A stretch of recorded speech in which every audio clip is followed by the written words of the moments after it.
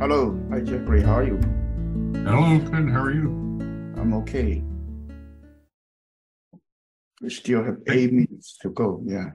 Thank you for your uh, your knowledge this semester. I I really learned a lot, Oh, okay. and That's, that's great. Yeah. I like the way you draw things and map it out. Mm. Yeah. Thank you. Thank you for your comments. Mhm. And this one is a, I would say, pre-recorded uh, course primarily, right? And then it's also online, primarily online, because I'm not physically in in Illinois. So so basically, we have to rely on a lot of homework. So so we try to provide the best set of the homework for every student to work on. I know it's actually a lot of loading, but hopefully people who go through it will learn something, right? That's the purpose. Well, I, I learned a lot, but Yeah, the projects are very challenging. very challenging. Yes, we. I told you our course quality is almost the same or even better than Berkeley or MIT. Well, I appreciate that. Uh, don't don't look down yourself that you cannot do it. Just try, okay? Just try. Well, I was Try doing that. I do know that some student copy homework from uh previous year, but well, we we don't have that much time to check, right? Some of you, I think you is actually uh working on it them by yourself, but some of the students do copy, okay? But this is a challenging course. I do not try to actually criticize on people who actually uh, refuse to work on some project by copying or something. I don't want to uh, criticize on them, but anyway, for who, whoever who work hard to trying to go through will definitely learn something. That's our purpose. Oh, yeah. Uh, that's our purpose. But yeah, this actually we have to do it in this way because uh, this is an online course. It's not like uh, on campus that you can ask question at any time you want, right? And office hour is actually doesn't run in that way. So we actually kind of present in a different way. Uh, I, I would believe that in the long run, school will, will change to the way that we are presenting right now because Probably. Because that we don't have that many uh, on on-site course and students sit together. That wastes a lot of time. And you can, if you are able to work on the project more, you actually will outperform those people who just attending the lectures. That's what we believe. Yeah. That's what we- I, I think there's value in in coming to a place though, yeah, yeah, yeah. and and meeting your other students and Yeah, that's actually for social life and also for connection and also for co- and for working on a team. It, it's hard to work on a team online. Yeah, yeah, yeah. Online is very hard to work on as a team. So the project, I emphasize that we have to work on it by uh, the student individual work because that usually the teamwork, if the course is online, it's very easy that some students do not do not work on it. Some students work very hard on it. So it's very hard to differentiate or uh, credit on the people who actually work hard and on the people who uh, did not even participate, right? And, and then it's hard to delegate Yes, what somebody's going to write code for or what. To, I mean, maybe they don't write it as well as uh, as other yes, people. yes. And also another thing is like, uh, when I do grading, I as long as some people who actually uh, submit early enough, okay, we try not to deduct too much because I my belief is that the best way to learn is not trying to, okay, this guy A, that guy B, that guy C, okay, something like that. We actually want to look at the completion. As long as you complete and you make minor mistake, that, that actually is acceptable. Who who won't make mistake, right? Mhm. we don't we don't check at the result that okay this is 2.34 and you are 2.32 so you are wrong. We don't do that right? Actually if it's just a, a, a couple of a digit of an error that that's not the main thing uh, a teacher should look at. We i primarily look at whether your program is complete or not. Okay if it is complete you do spend time then we i usually will give them full score. Unless that they are late or they are actually uh, completely not working on the topic, right? Then we we would do, do deduction. Yeah. And I try to this this is the way which I teach, especially online.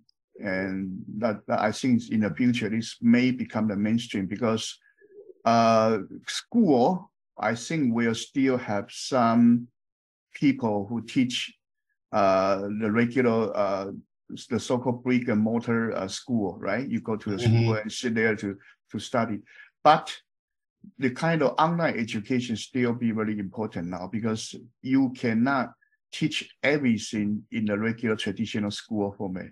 You cannot. You still need to have some some courses that you you are interested in. You can do it purely online. Yeah, purely mm -hmm. online. So that's the way I teach and also the way I teach my son as well. Okay. So for example, way. My son, actually, I have a son who is uh, right now at UC Berkeley. But when he is in high school, his high school has six period, right? Some private school has a period. But when you try to compete as a public school student, you need a lot of these online courses. online courses and actually extra AP courses or extra college dual enrollment. So I trained him to have the right mindset and also the way to take courses uh, online. Okay, so he ended up finishing 18 AP all fives, okay, and also finished 16 dual enrollment from the college and also universities. So he ended up he when he entered Berkeley, he was admitted to Berkeley MET program. That's dual degree. That's mechanical and engineering? No, it's actually Haas Business School plus EECS. EECS is the electrical engineering and computer science, is the top program at the Berkeley, right? Wow. It's actually number one in double E in the US. I think only MIT can can can compete with uh, and also Haas is number three in business in under um, undergraduate. If you check the U.S. news, so he actually start with 113 units created by the AP and dual enrollment. Yeah, so very hard training for free for him pretty hard training. Oh, it's great. Yeah. He had a, he had a good teacher though. Yeah. I guide him through it, and actually, he recently competed in the Data Open. I don't know whether you know it or not. There's a Data Open Championship. Hmm. He actually won the West Coast second place and going to the final in New York City. This is by the this data data open championship is by the Citadel, a trading company. Beneath your feet, it turns again. So this So he actually learned AI in high school and competed uh, in in the university right now in the Berkeley team for this uh, this thing. Is to give you a first-hand opportunity to see, to hear, to feel how the global financial market operates. We want he's working with data, or he wants to work with data. He's working on really compete AI, AI, and this uh, data open need AI and also need to learn the modeling. So you need to have the mathematical background for the modeling and also AI and for also computer science skill in combination, also business sense, because you also need to present your project and this data open is the top of the data science and AI competition in college. And the competitor can be from uh, undergraduate to PhD. So as for his age, he's only a sophomore right now in Berkeley, but he's competing with a lot of top talented PhD students in this uh, data modeling right now. 10,000 students nationwide applied to take part in one of CITADEL's datathons. Please join me in congratulating the winners and recipients of the $100,000 prize, team number one. Yeah, this team number one actually is UC Berkeley team five years ago. Okay, so Berkeley EECS is very top in this uh, domain in data science. Okay, and Sometime actually I do know, okay, the reason why I'm uh, talking about this right now is because computer science is changing. Okay, computer science as a top as a subject is changing. In the past, we learn core computer science uh, techniques such as database, operation system, right, programming language, and also computer architecture and uh, computer networking, right? These are and computer algorithms. These are the core courses for, for the computer science. But now it's changing. Computer science is shifting gear. That now it's not no longer uh, no longer in the same way. So here I have a presentation for how to go to the UC computer science majors. Okay, so so right now computer science on the core you need to learn math. Okay, and then you need to learn computer science and then a lot of application outside. Okay, so undergraduate you get a computer science pro, uh, degree is very good. Okay, it's very good, but you need to also have knowledge on the domain uh, knowledge such as business school. Okay, or core computing skills such as math that EECS is electrical engineering and computer science that provide the best training for it. Okay. So here actually for him, my son, he go to uh, Berkeley. So he actually goes through the the the lower division. That's a course, core courses in the Berkeley. Okay. So they have introduction to introduction to the computer science and the data structure and the machine structure such as C, C double plus, and also uh, assembly code. Okay. So I told you our course is actually a equivalent course to this uh, introduction to CS by Python. Okay. This one we are teaching the, the this uh, 46K CPSC we are teaching a tougher version than the one taught in at Berkeley. But the Berkeley popular, this is 61A is very uh, popular. We, we, we are using the same name of the structure and the uh, interpretation of computer program, okay, SICP curriculum.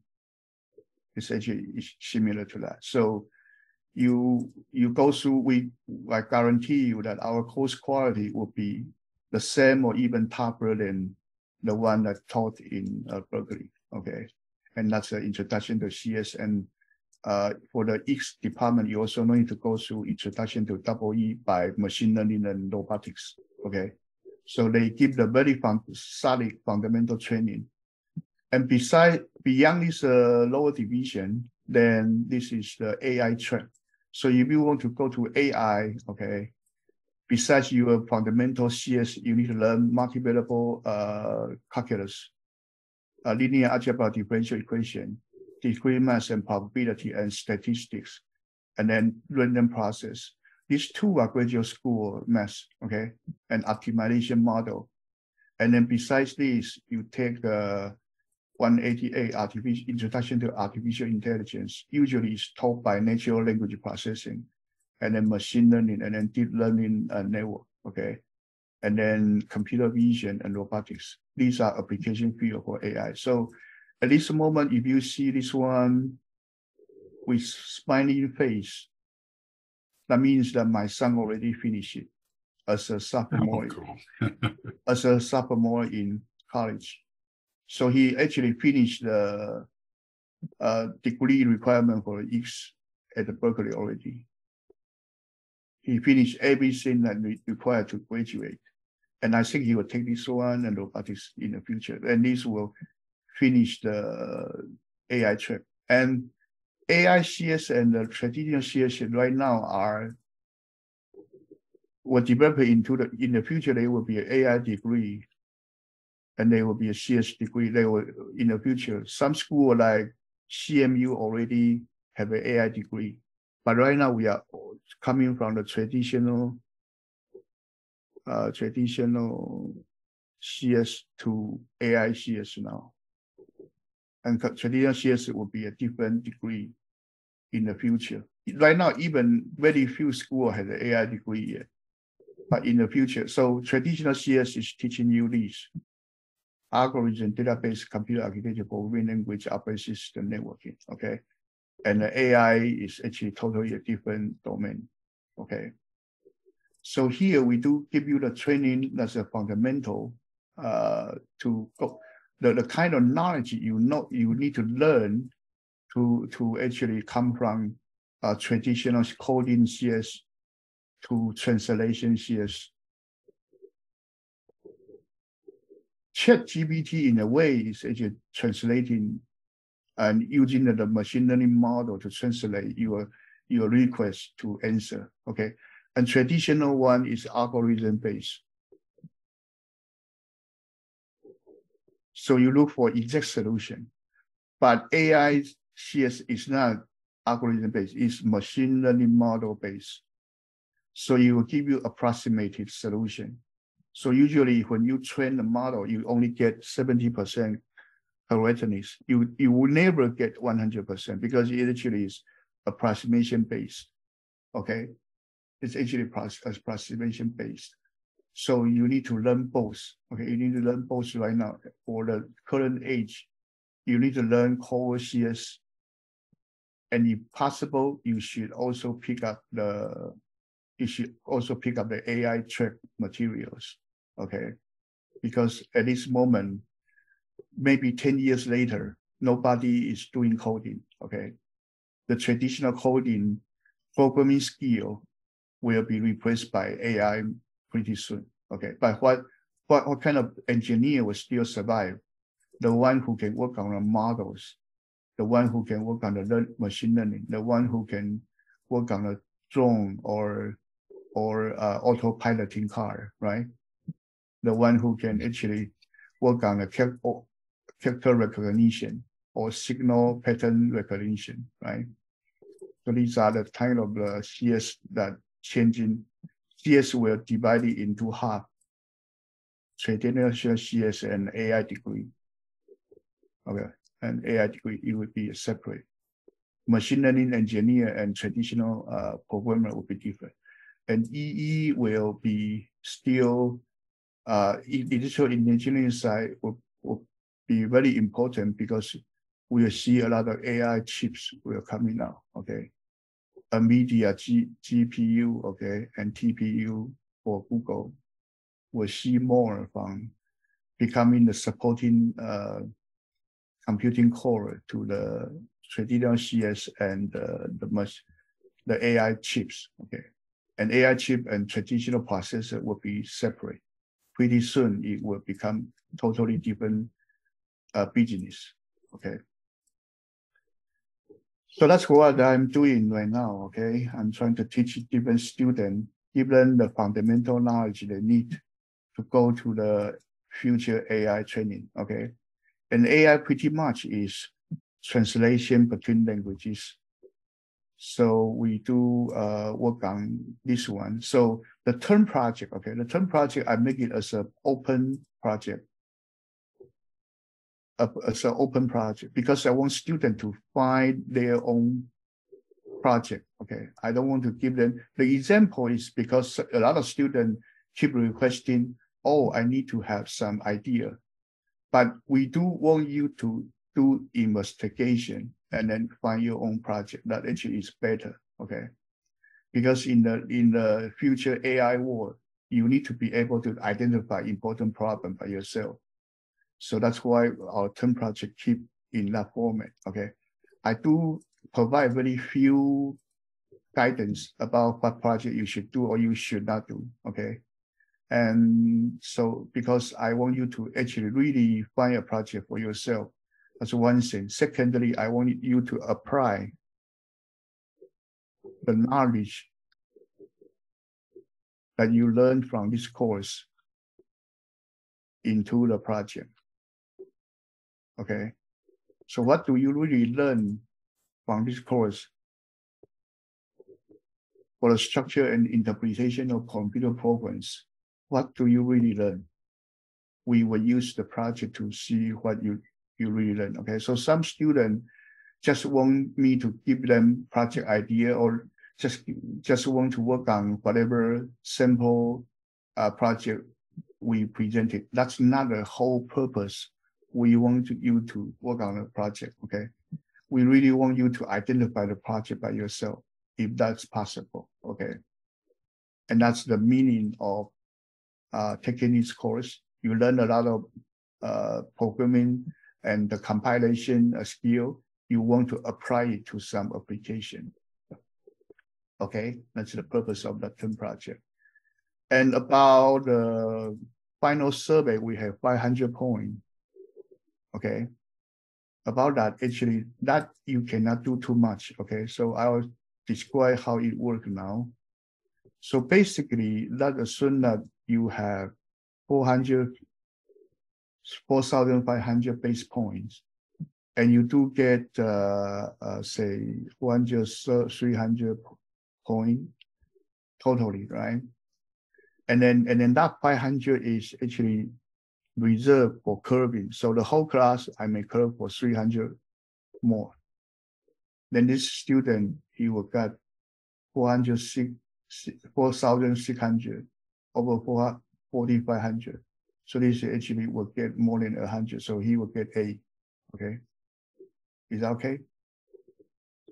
So this one is actually the 300 over 500. This is for the final curving. I reserve that 500 point to curve the class. Okay. Any question? So usually the whole class will receive a same point, maybe 300, maybe 200, maybe 100. The, the least bonus I gave before is 100, okay? Because the whole class did not attend any meeting. So I don't give them high score. Your course so far, I think every week a lot of students attending. So I was think that maybe it's better than 300 will be given for the final bonus. Okay, maybe I cannot guarantee, but look like it's that way. Okay. And another thing is like I use that curving point, try, just trying to make sure that A, A grade, A, A minus, A plus is between one third to two thirds of the class.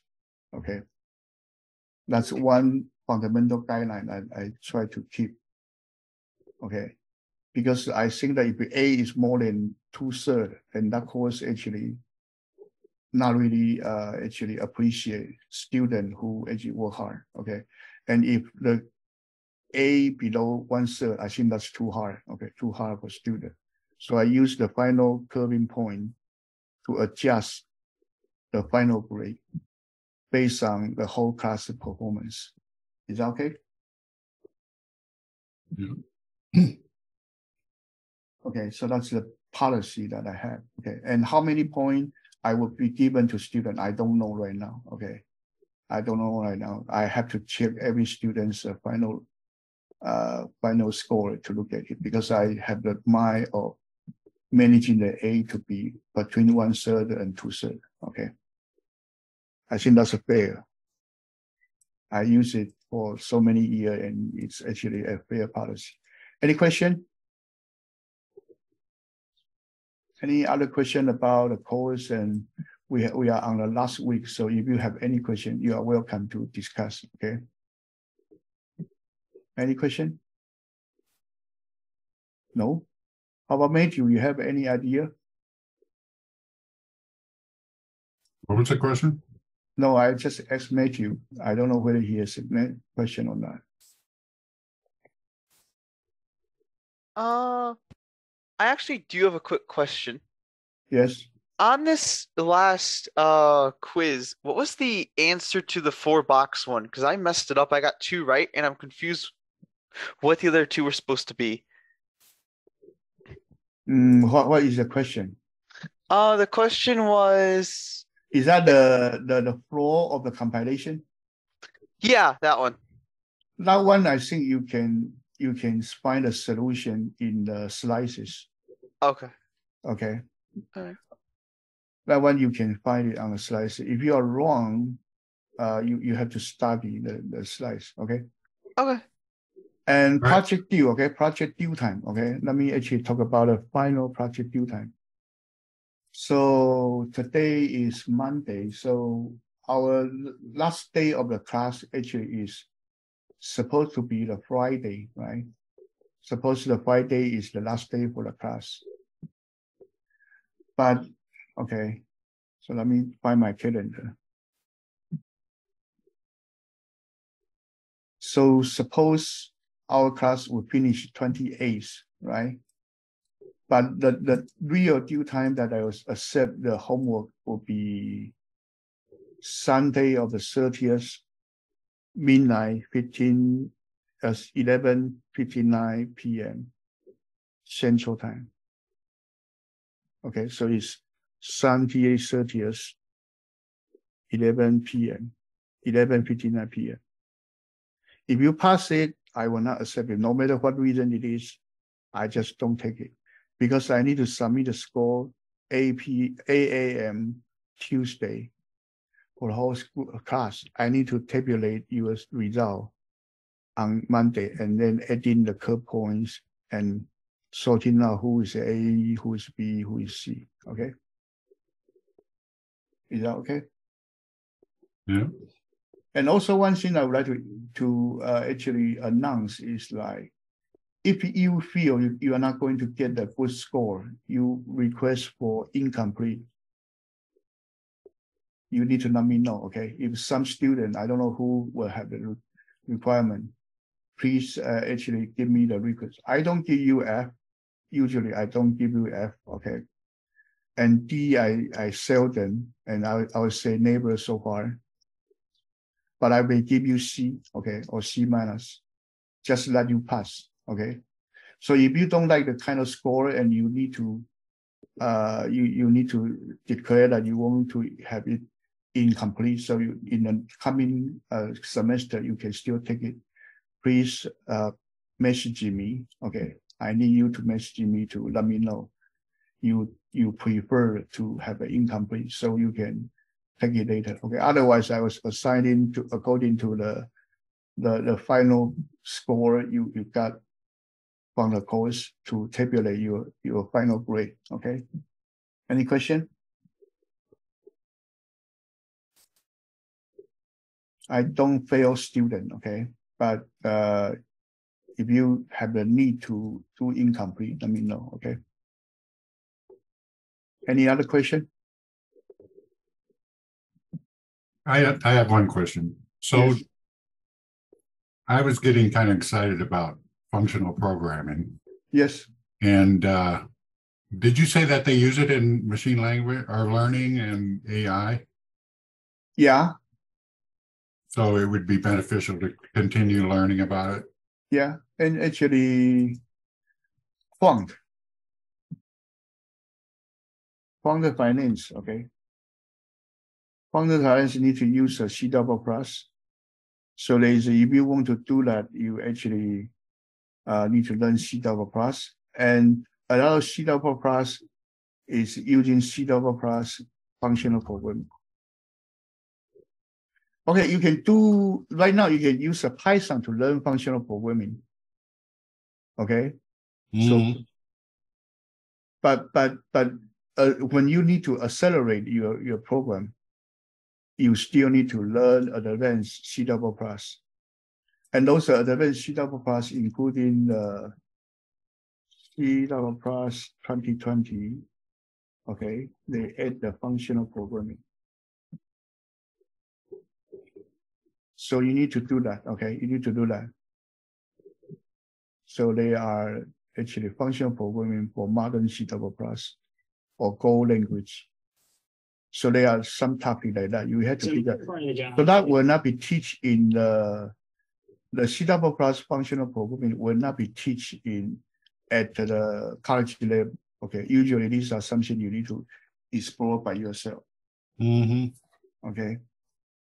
Not something. So I mentioned my son before, right? My son actually learned C double plus in high school, and then uh, he actually finished Python as well, Python, C double plus, and also uh, Java and also JavaScript. and he finished many, many languages before in high school. So for example, he interviewed with a financial firm. They do require, like Citadel, they do require, they do require the C double plus. Okay. Backend programming, they require C double plus. So we use uh, Python for you for to, to teach you functional programming because Python is easier to handle. Okay. But if you really want to find a decent job in machine learning and in in uh, in in AI, okay, plus still be very uh, essential. Okay, Mm. especially you go into the quant, they need speed. Okay, they need speed. Okay, so you need to why CW plus good for quantitative finance. Okay, if you want to find job in Wall Street or Chicago uh, downtown area. Okay. That's a good question. Okay. Uh, so, so there are tons of courses you can take from the internet if you really want to learn uh, functional programming, C plus, but you need to uh, get started step by step. If you need uh, guidance or need some uh, introductory, uh, I do have some reference material. Okay, I do have. Oh, thanks. So you can probably uh, message me for that. Okay. Okay, so this is the last uh, lecture. If no more question, I'm going to go over it. Okay.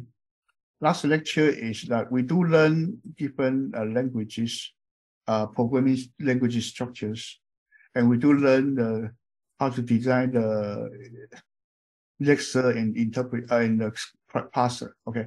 So, and we do also learn the virtual machine. Now is the final topic that we do apply those uh, knowledge to design a scheme interpreter. Okay.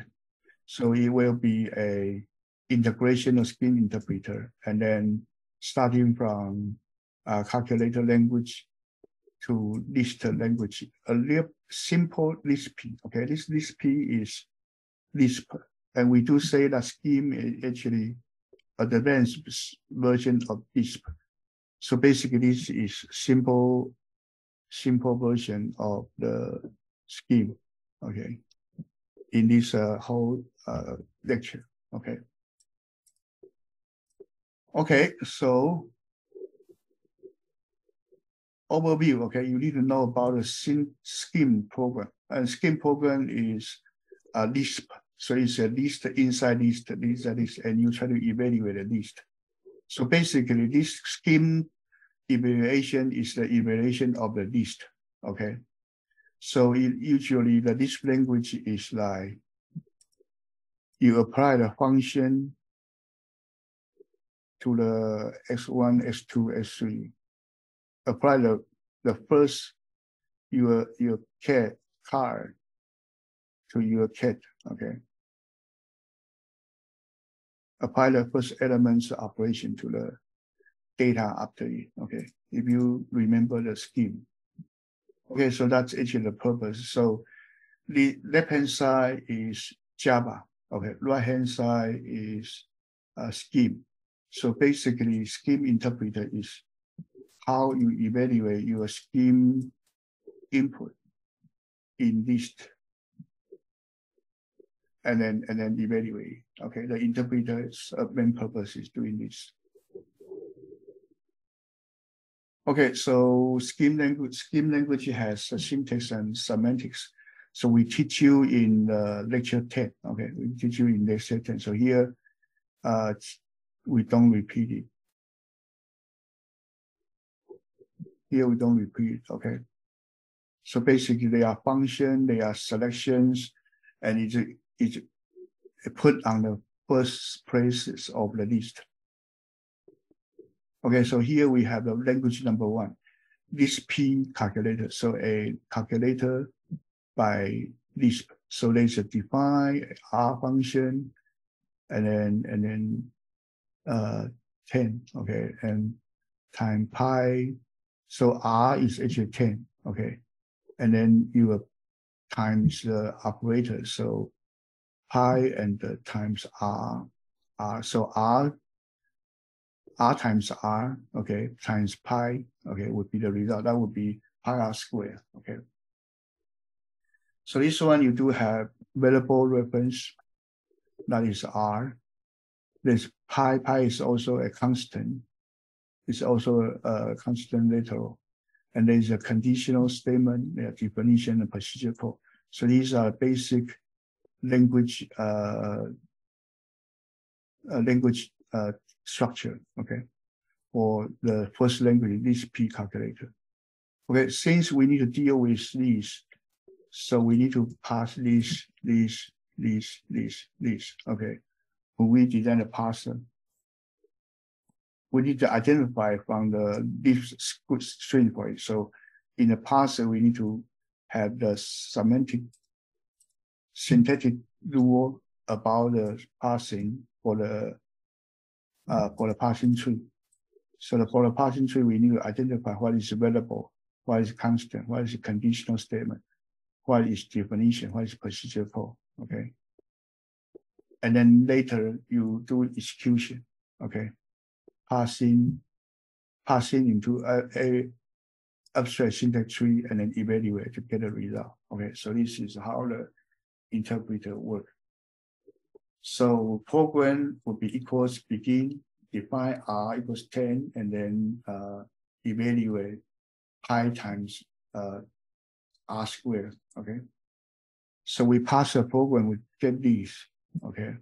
And then we evaluate the passing program and we will get uh, these. And this one is what? This one is the whole execution of your interpreter.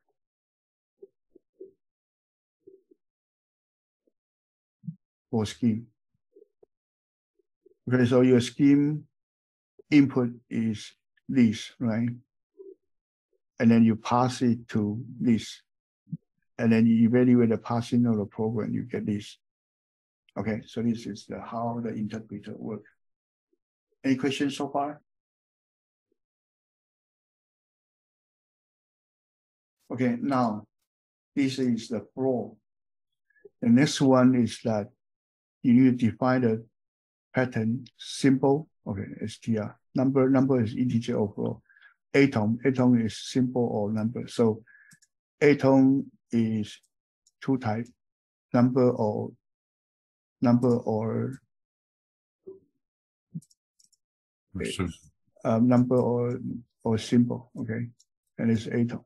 And atom uh, common list can be an expression. Okay, list is one kind of list, and environment equal dictionary. Okay, so it's actually a lot of binding between ID and the value, ID and value. That's actually your environment.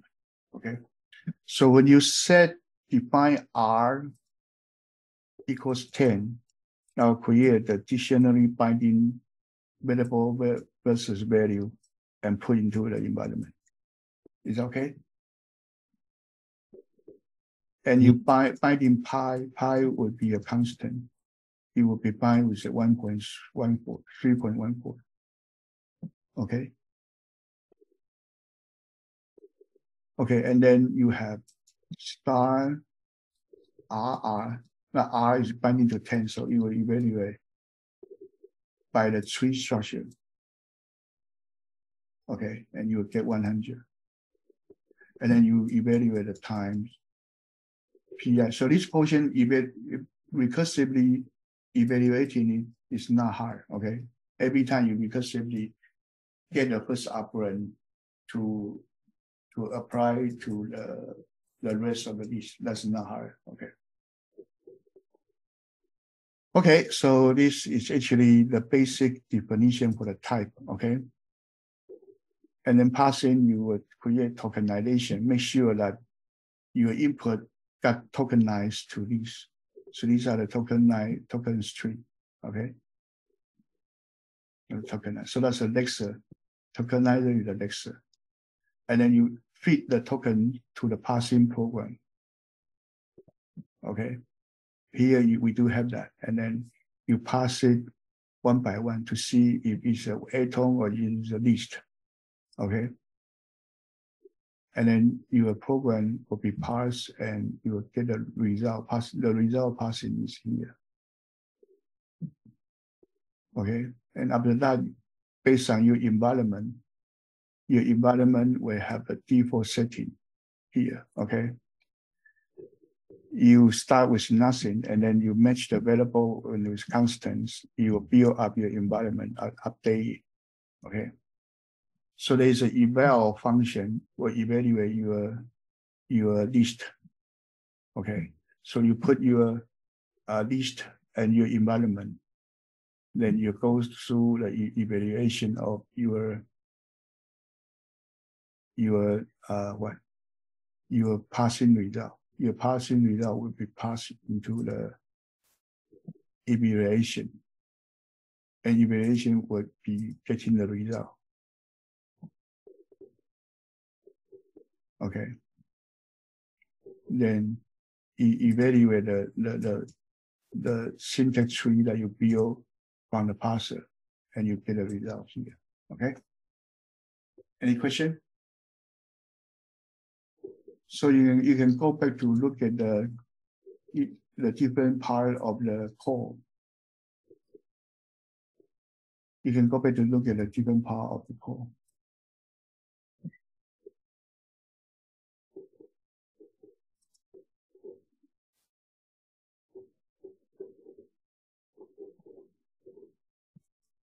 So lecture 16, okay.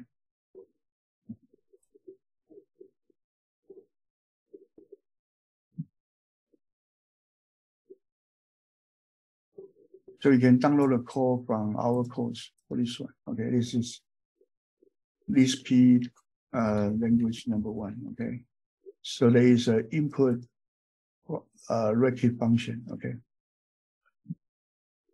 the input Lisp function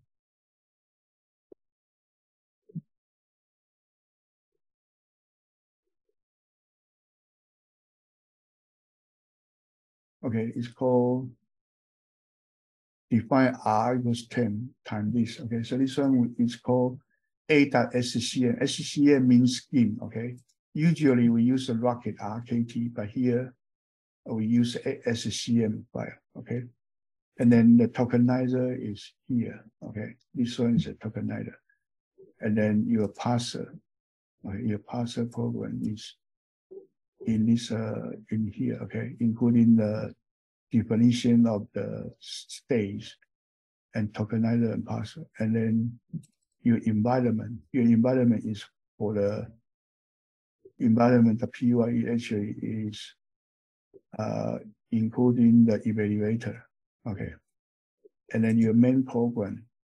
Your main program is is a top level, okay at the end, this is the top level. This per calculator, the P1.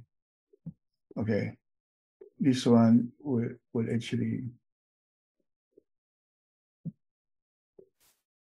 okay.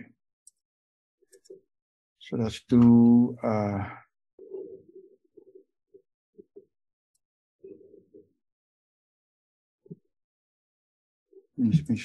English, okay. Wait, how come it's telling? Oh, I'm sorry. I need to use terminal. So Python, okay, the, the one code doesn't work, okay. Because it doesn't take the input.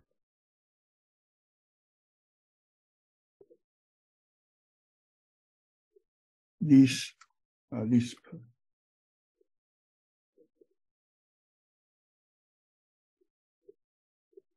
Okay, so we do plus three, one okay, times plus two, one, four. So this one you see actually can perform the calculator without problem, okay?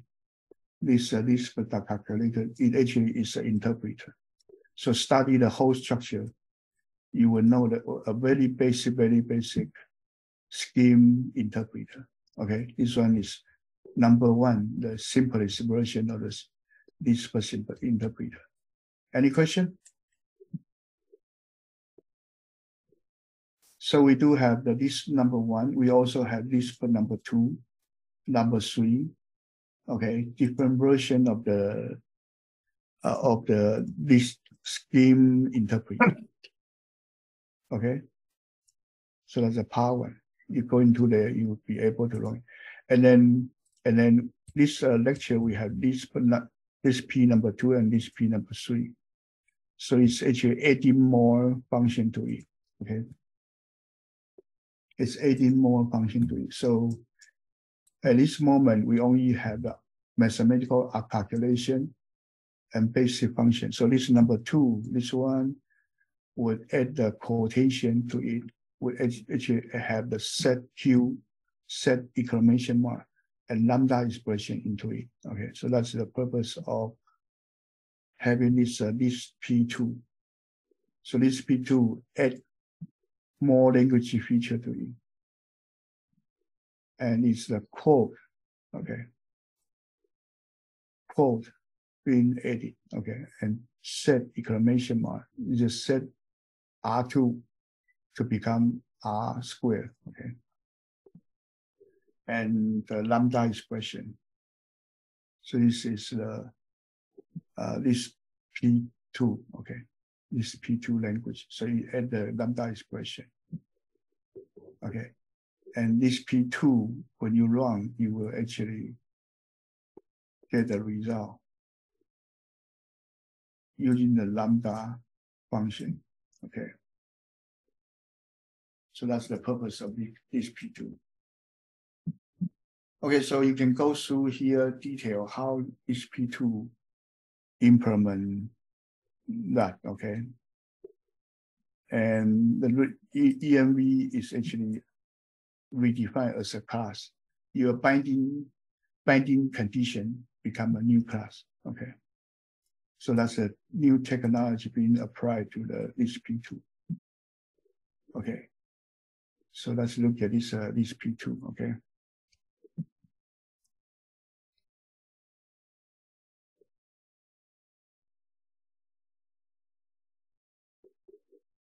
So let me find a new folder. Okay. It's in this P2. So this, uh, this P2, there's a lambda one SCM. There's a lambda two. Okay, so you can see that the uh, lambda two scheme is actually a lot of function now. Okay. And your main program is here. Your Lisp this P number two is this one. Okay, so main program is a long Lisp. Okay, so that's actually go to here. We do the Python. Okay, run list. Okay, and you can get these. Okay, let's copy a few of them.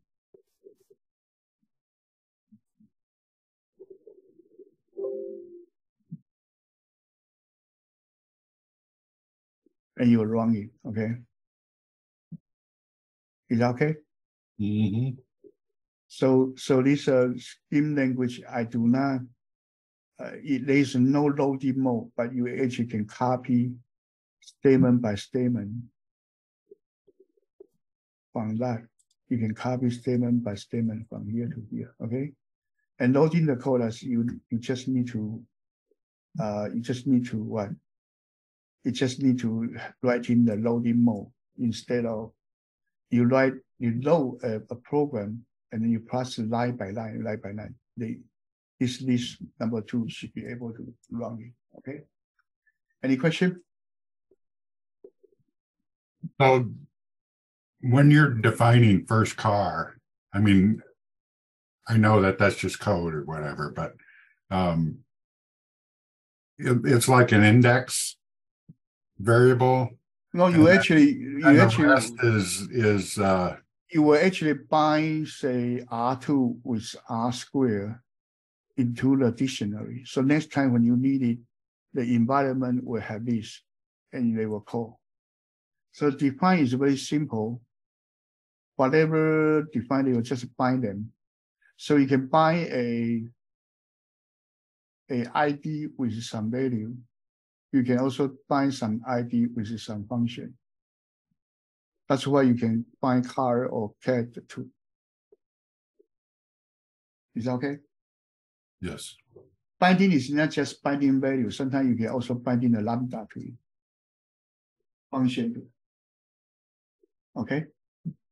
But you're binding the car, the ID. Binding is that when you do define, when you do define, they just put that two definition to a dictionary in the environment. Right. Yes, they just do that. But when they evaluate, they will find these to evaluate that. Right. Because that's how you find them. Yeah, yeah, that's how you find them. And binding is just for the future use. Right? Binding is just for the future use. Oh, yeah. When you evaluate, they will actually run it. Okay, so that's the language number two. So number two, actually adding more coding and set value and also binding lambda expression. Okay. And then number three, it will put in the functional structure. So you need to deal with the string, booleans, data type, complex number, coding. Okay, also you need to deal with the function, if statement, and those uh, program structures. And that's put into the number three. So number three is even more advanced and it add more feature to it. Okay. And those feature are program structure and uh, uh and the they have if they have the conditional, they have those kind of programming structure into it. Okay. That's the level of number this P3. Okay. And you need to, if you are interested, you need to go into the detail of this. And you also deal with procedure with arbitrary number of arguments. Okay. So number three have many, many features. And here we introduce each feature, how are they being implemented. Okay. And again, this is too much detail, so you should look at our recording, okay, or you need to go through the function and download the course, study line by line. Okay, we don't have that much time to cover everything here. Okay. And it actually many, many features. So we go into different part. I tr I try to be complete. Okay. So I demonstrate every function and how they work. But right here, I don't have time to go through each individual one of them. Too many. Too many. Okay. So that's the purpose of this uh, one. Okay, so re reflection. Okay, so this course we started with the programming language features. We talk about functional programming, object-oriented programming, and imperative programming, right? And after that, we go back to look at, okay, these are programming structures, and then how can we interpret the language from one language to the other? And translation or interpretation is the main purpose of this course, okay? And we, we teach you how to step by step design an interpreter, okay? Any question so far? Or any question not related to this code can also be asked, okay, AI or computer, if you have any question. No? Okay, if not, uh, you are welcome and thank you for uh, joining in the, uh, this course, okay? And many, most of you are working very hard, so I actually would like to uh, thank you for hard working. Also, uh, congratulating you to finish a very tough course. Okay, I'll say this course is very tough, but I'll try to be nice on the grading. Okay. Okay, if no question, uh, really thank you for participating in this course. Okay, and we finish course up to here. Okay, and then I do expecting everyone enjoy the course and also uh, have a nice uh, summer. Okay. I have a question. Yes. So um for the for the final, do we so how do you want the presentation? So do you need a video or or it doesn't Video matter? or PowerPoint, both acceptable. video or PowerPoint acceptable? Okay. Yes. Do you want us to go um to explain what the program do or what you're looking for exactly on the presentation? Presentation number one, you actually need to demonstrate how your program work and what's the purpose for doing the program. Okay. Yeah. So Alright. technically, do you need to explain every single line how they work? No, I don't need you to do that. But you do need to give me the presentation showing what you have done Okay. and how you work. Okay. Yeah, that's it. That's good enough. All right. Thank you. Yeah. But you do need to give me the copy of your code. Yes, sir, definitely. Yes. So I And created also, um so the presentation like PowerPoint or YouTube, you focus on demonstrating the functionality, okay? okay. And writing, writing is different from the PowerPoint. So a lot of students copy the material from the PowerPoint to the, to the final report. That's actually wrong, okay? Final report, you need to quote whatever theory or whatever uh, paper you have read. But the presentation, we don't need that. I just need you to tell us what you have done and how you work, okay? Okay. But the, but the writing, you need that. You need to show me the references. And then, and then the theory and whatever uh, scheme you are using, more technical part you need to put in the writing. Okay, Okay. All right. Well, Yeah. thank you. yeah, good question. Any other question?